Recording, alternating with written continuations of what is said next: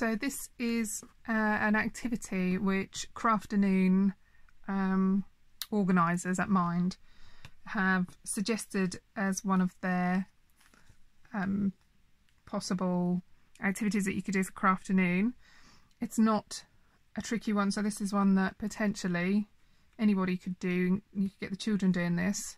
The only bit that might be a little bit tricky is when you do some cutting out, but generally speaking, I think this could be quite a good family one to do. And it might be quite a nice way to keep kids occupied and give them something to do to make something for people for Christmas. So it's basically a window card. Now, the idea is that it's like a bauble, but um, as you can see, I've made a couple in the bauble style. And for the tutorial that I'm going to go through now, I'm going to actually do a slightly different shape, but the process is exactly the same. So for this, you're going to need some card. Now, you can buy these uh, card uh, blanks. So they're just a piece of card pre-scored. Some of them come already folded. And that will give you a card. And the benefit of these is that they come with an envelope to match. Places like Poundland sell them and at the moment, I know the other day I noticed they had some that were the brown craft paper which looks quite good often with some of these kind of decorations. Um, and I think they were just a pack of 10 obviously for a pound.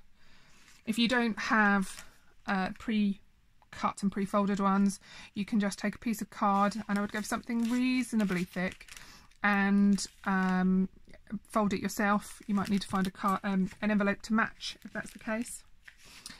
To make the window you'll need some sort of plastic and the tutorial guide uh, suggests you to use plastic food bags such as the Ziploc type bags.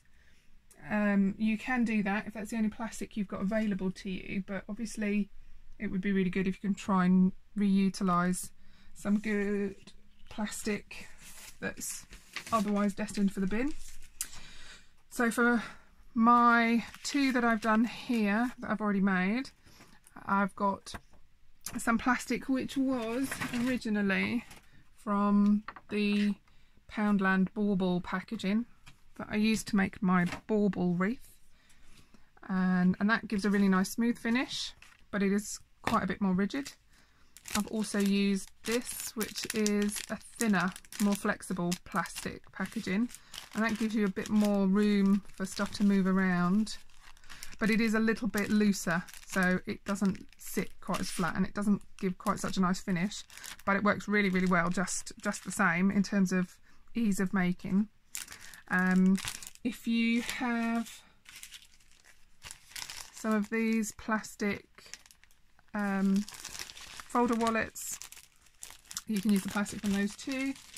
You might find you've got plastic that some of your post comes in, sometimes magazines or some kind of publications come in a plastic sleeve and you might be able to reutilise some of those. So for the one I'm going to do today, I'm going to use the slightly thicker plastic that I got from my bauble packaging because I, I think that works quite well for these. Uh, you'll need something to put inside your window.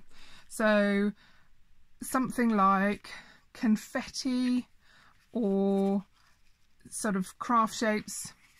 My children have got quite a lot of the sequin type stuff, but a lot of their stuff at the moment is all Eastery, and I'm after making something more Christmassy, so I won't use that. And what I've used for these is just some card that I already have and I've used a hole punch. I've got a single, but an ordinary standard double hole punch. And this is a craft punch that makes bigger holes. And I've used that to make my own filler. So the one I'm going to make now, I'm going to use all this really colourful stuff. And there's nothing to say you can't use newspaper, any paper that you've got around the house. You could literally just give your children a piece of paper and a pair of scissors and ask them to cut it into all sorts of weird and wonderful shapes. If you've got other shape craft punches, often people have star-shaped ones, especially around Christmas time. I think you can probably pick those up in some of the cheap craft shops or like Poundland. So whole selection. So I've got, again, rather than using stuff new, I've got some card, which I've got all these little tiny spaces that weren't used for a different craft project. So I've just gone along and punched a whole series of bits to make a sort of confetti and that's all going to go inside. Now my first ones that I made I'm not really convinced that I put quite enough in. I think when you hold the card flat, let me show you what, what I mean. When you hold your card flat and you shake your confetti around, it's easy to see what's in there. But this is likely to end up on someone's mantelpiece. So if it stood upright for any length of time, everything will fall to the bottom. So I think the more you have in here, the more likelihood that um, it'll still be on show even when it's stood up. So lots and lots of bits and pieces to put inside, whatever you would like. I'm just going to do a, whoops, a purple I've actually done that upside down, but I do it so that I can try and get as close to the edge of the paper as I can. So I've got a whole mishmash. My card is double-sided, so it's the same colour both sides. Sometimes card is white on the back. But if you're doing something that's meant to look a bit snowy, that works fine. So you will need a pair of scissors or a craft knife or some way to cut out your shape from the centre. You'll need some sellotape or glue or maybe even something like glue dots. And in mine when I've attached my window to the inside I've covered the edges just to tidy up with some washi tape. You don't need to do that. You could just do it with some plain sellotape. Uh, I just like to neaten up and hide bits and pieces where I attach the the two windows together so if you take your piece of card, and I've worked on the inside to do mine, you can do it on the outside, but I drew my shape that I want to cut out. So for the baubles, I just used a mug and I drew round it. For this one, I've made a square and then I've created a crisscross across the centre of it. So I'm going to make this one, hopefully, look like a Christmas gift. And then I used a craft knife to cut out the shape. If you don't have access to a craft knife, you can easily use a scissors, just the same as you might any other time. Use a pen or a pencil to mark a hole in the centre of the area that you want to cut out, and then you can work your way out to the side. Be really careful with a craft knife. I cut myself yesterday. So once you've got your shape cut, move that way. You're ready to go. Now you can do this either way. You can decorate the outside before or after you've done your filling. Uh, so for this one I'm going to start off by doing the decoration on the outside purely because I want to be able to do it and know that I'm not going to end up drawing over my plastic and I've got Sharpie pens so if they're permanent obviously I won't be able to take it off. So just to help the outside stand out a little I'm going to use my Sharpie pen and I'm going to outline the edge of my shape. You could do this nice and neatly with a ruler if you're doing a square pattern like I am. If you're doing something like the round for the bauble you could just use the original shape. And when you're marking your shape onto the card in the first place you could just use your marker pen to go round the object and then cut inside the line slightly when you're ready to cut. So uh, on mine I've got this crisscross that will mark out where the effect of a ribbon is. So I'm going to colour that all in red too. When I did the bauble, as you'll see, I'll move this over here while I'm colouring it. I decorated the outside with some stars just to finish off the outside around the edges. And then I used a line straight up from the centre of the bauble to create a string to make it look like it was hanging. I'm using Sharpie markers, but you could use anything. If you've got paints, you could do this with paint.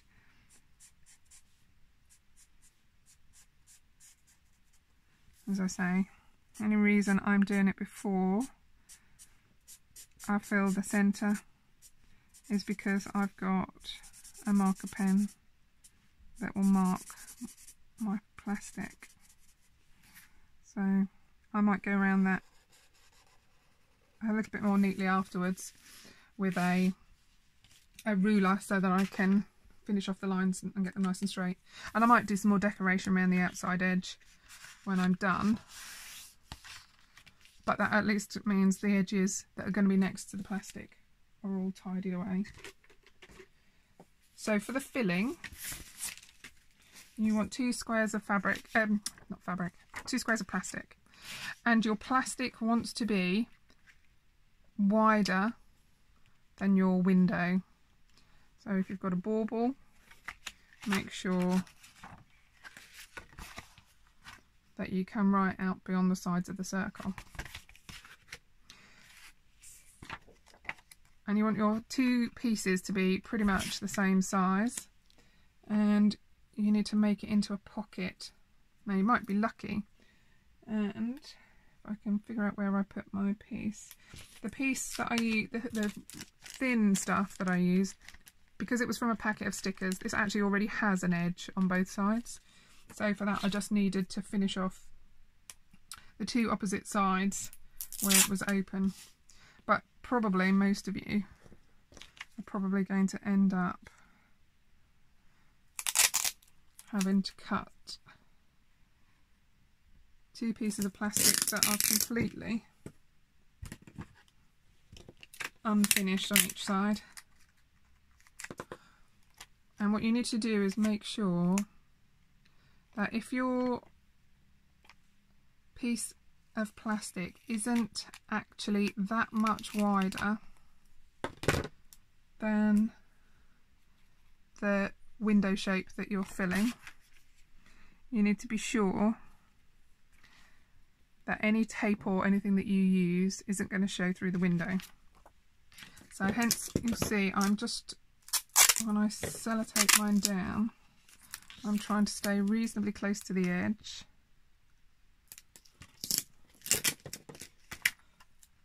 And then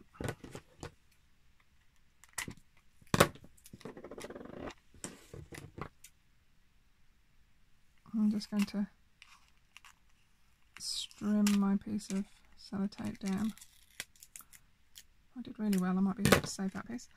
Uh, and so I've just got a really narrow strip of sellotape. Let me see if I can reuse this piece. Speed.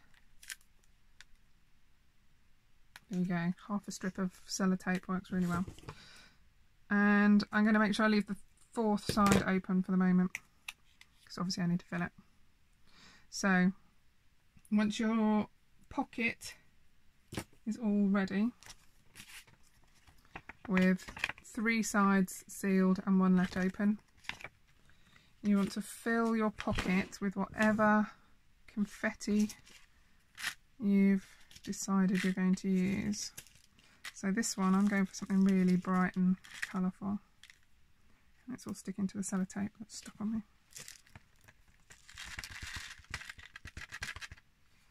There we go. So I've been a lot more generous with this one. Hopefully this one will create a really good effect. So there's my my filled pocket. So I'm going to now seal the final side in the same way as I did before. Still making sure that I don't have my tape or my fixing too far on show.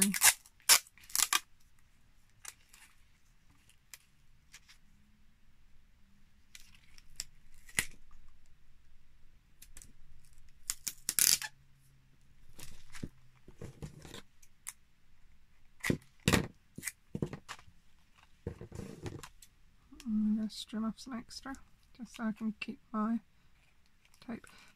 The only reason I have such a narrow gap is just because I was using obviously the packaging from my box and the box this is as wide as the box was so I couldn't make my piece any bigger. So give your little window shake. Unfortunately I think my my big ones need to move around before they'll they're all piled up in the middle but a little pop around and they'll move but basically those should look like the confetti inside so open up your card, find the position that makes it fit the best without getting too close to either side of your cuts. And I'm using washi tape to stick mine down, uh, just because it's a little bit more decorative. And it will sort of cover up the sellotape.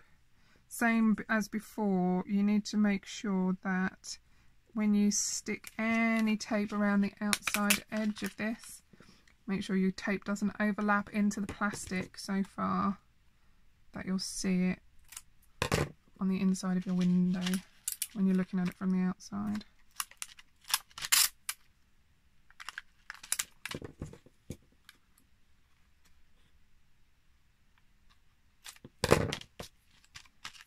So you could at this stage just use sellotape or you could use um, glue dots, especially if you're doing a bauble shape because obviously when you're doing the bauble the corners here won't be on show so you could easily use a glue dot in each of those four corners. I'm literally just using the tape because it just finishes the inside off slightly. Washi tape's quite good because it's fairly easy to get hold of. I have a, a whole load of ones which I think came from uh, Aldi. They often sell packs of it around Christmas time reasonably cheaply. Sometimes I think you buy, buy it in Poundland too, but it's not as sticky as sellotape sometimes, so just watch. Some of the brands are better than others. Okay, so my window, I'm going to try and get it pretty central. And although this is the inside and it's not really the bit that people will see, I am still going to try and make it as neat as I can. Looks like Mr. Tumble's house. And there we go. So, I think the bauble probably looks better. I'm not quite as big a fan of the Christmas present idea, but what I shall do is I shall probably take a gold pen or something, if I can find where I've put it, and I will look at decorating the top to make it look like it has a bow or something on the top.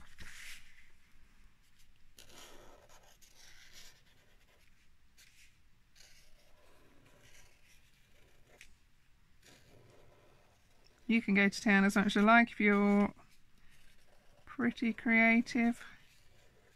I'm sure you could cut something really beautiful. You could create a whole scene to go around your window.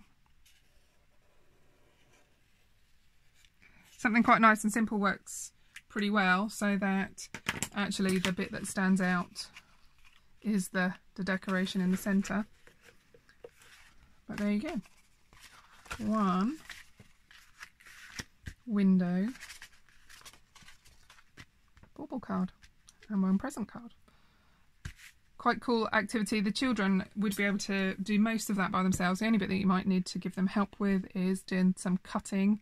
If you're going to have small children doing it, they'll probably need help with that. But pretty much a lot of the, the rest could be done. And if you were to use plastic food bags, you may even find that the uh, size of bags you use may allow for very little work needing to be done to sellotape the bag together once the filling is put in.